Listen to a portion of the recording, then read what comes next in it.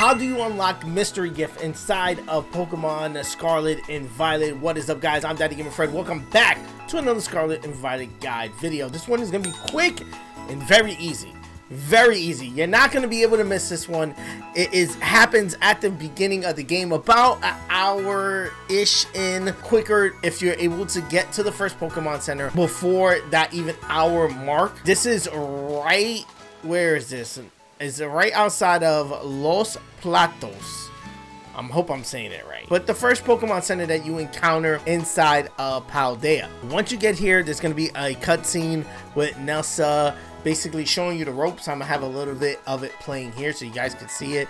Uh, once I reach here, Nessa is basically showing you the ropes, showing you the Pokemon Center, the guy in the mart, and then the TM machine.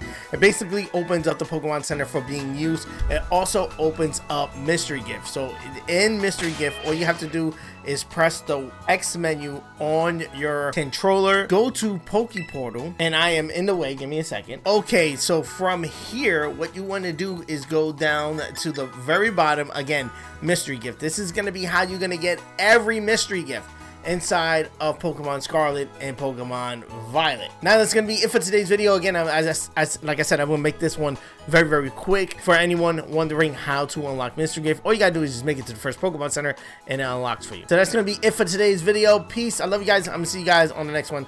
And it's waving goodbye without me even prompting to do that. And that's pretty cool.